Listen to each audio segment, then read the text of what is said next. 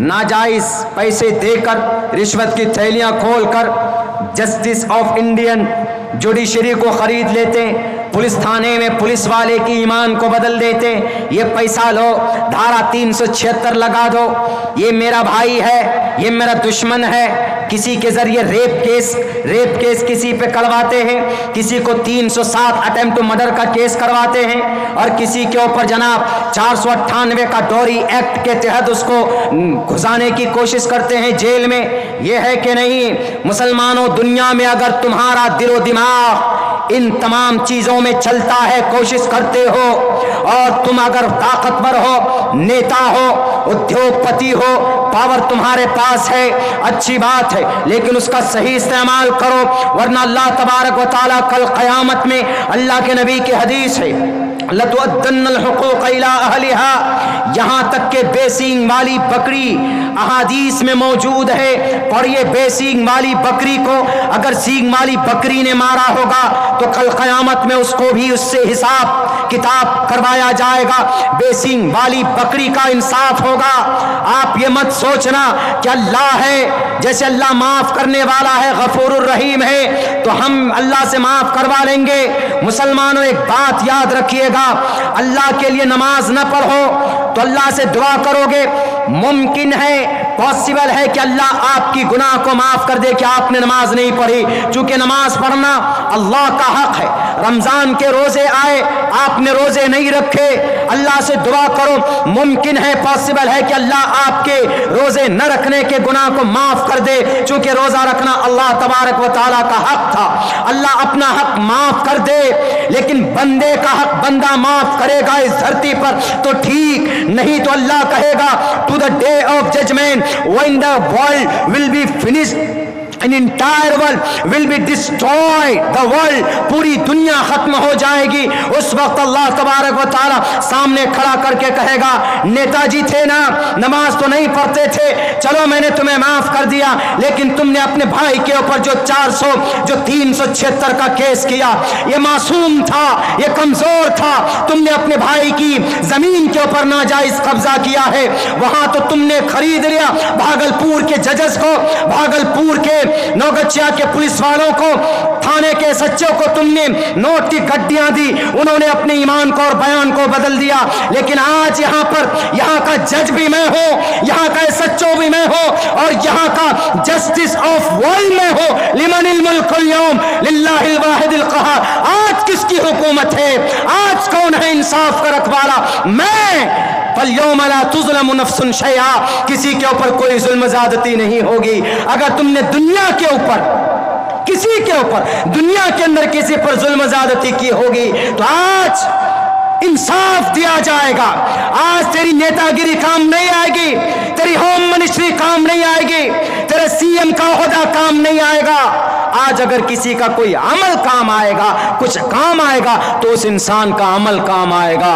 अगर किसी पर जुल्म ज़्यादती की, किसी को गाली दी, किसी को थप्पड़ मारा तो अल्लाह तबारक व ताला कहेगा कि खड़ा कर दिया जाओ उसको। जिस जिसके हकूक हैं, बुलाए जाएँगे। मौलाना अब्दुल्ला बहुत तकरीर करके नेकियाँ कमाए।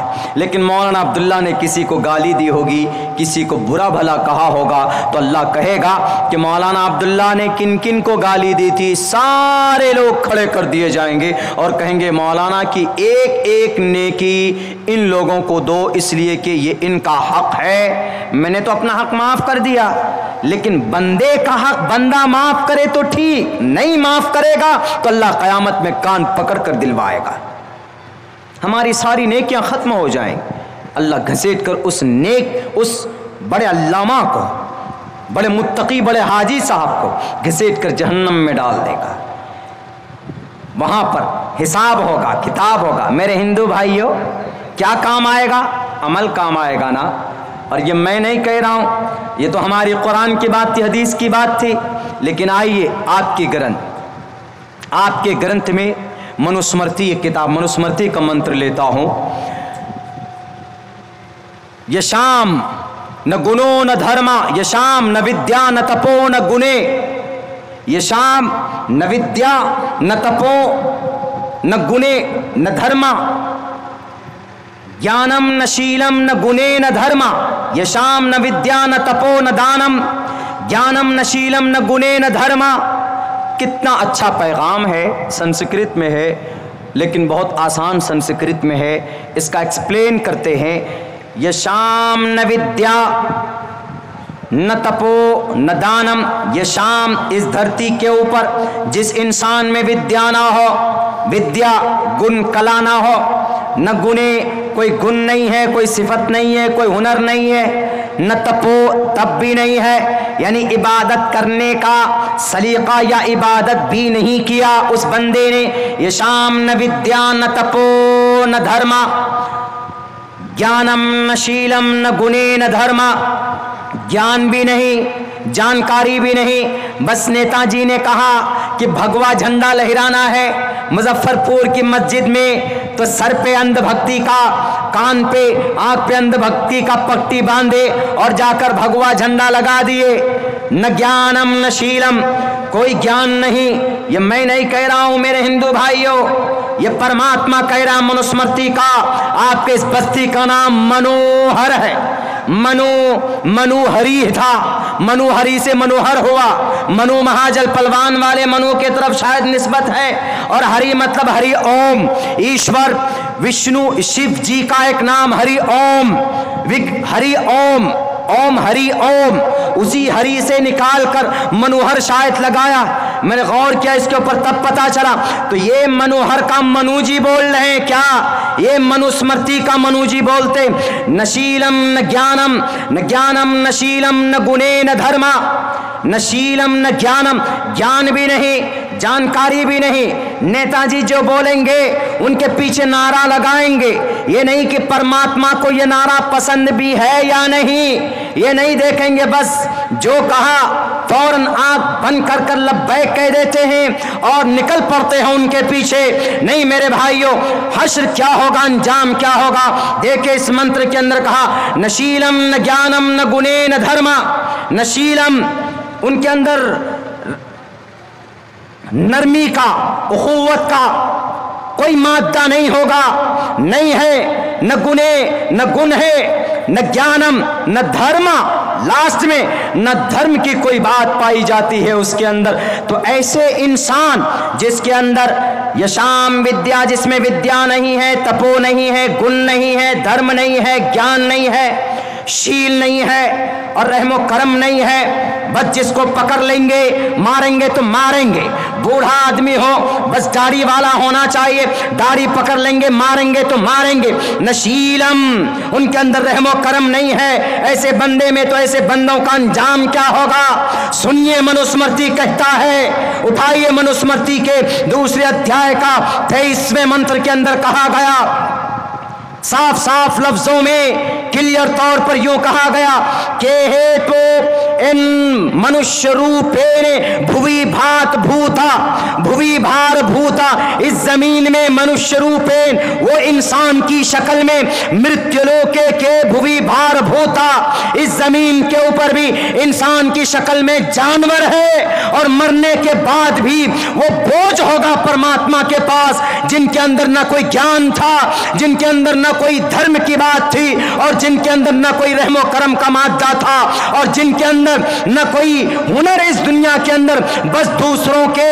तलवे छाटते थे और फिर पैसे की गड्डी मिलती थी और फिर नारा बुलंद करते थे।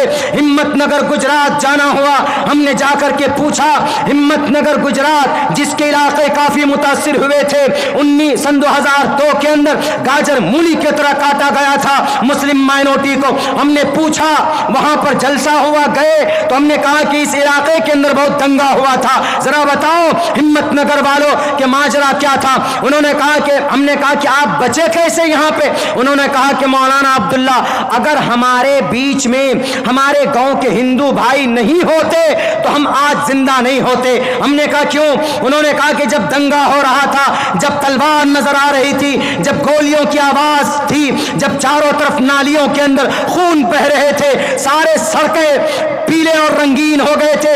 रेड कलर से उनको ऐसा लग रहा था जैसे किसी ने खून से होली खेला। ऐसी नज़र आ रही थी सारी बस्तियाँ, सारी सड़कें। हमने कहा, आप कैसे बचे? आपका घर कैसे बचा? उन्होंने कहा कि पड़ोस में हमारे हिंदू भाई नहीं होते तो हम ज़िंदा नहीं होते। हमने कहा, कैसे बचाया? कहा कि फ्रिज में डालकर हमारी जान उन्होंने बचाई टॉयलेट बाथरूम में बंद करके उन्होंने हमारी इज़्ज़त आबरू बचाई। हमने कहा कि उन्होंने तो दंगा किया था। कहा, नहीं, वो किराए के टट्टू थे। न गुनम न शीलम, न देवा, न गुने न धर्मा।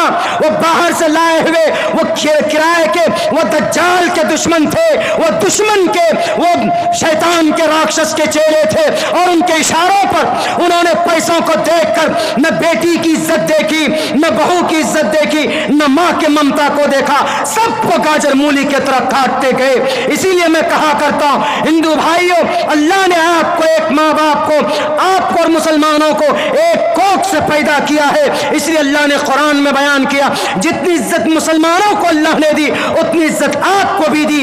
आपको इबादत करना है। आप हनुमान चालीसा पढ़िए। बोलिए, मैं खड़ा होकर पढ़ता हूँ। जब कहेंगे तब पढ़ूँगा। लेकिन खुदारा, आप हनुमान चालीसा अजान के अपोजिट में मत पढ़िए, बल्कि हनुमान चालीसा पढ़िए तो अपने ईश्वर की ईश्वर की भक्ति के लिए पढ़िए। अपने श्री, अपने हनुमान जी को खुश करने के लिए पढ़िए।